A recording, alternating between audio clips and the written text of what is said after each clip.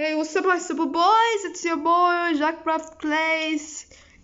I'm from um, I'm not playing Minecraft today. I will review, and I'm from a real life. Uh, today I will show you my hair reveal. Uh, are you ready?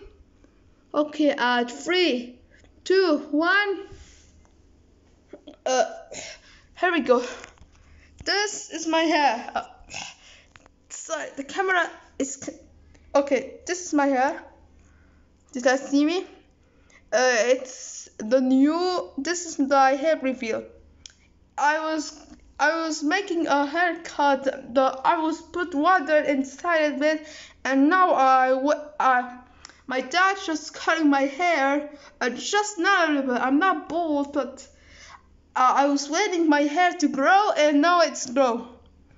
So this is my hair reveal actually um thanks for watching guys for all the support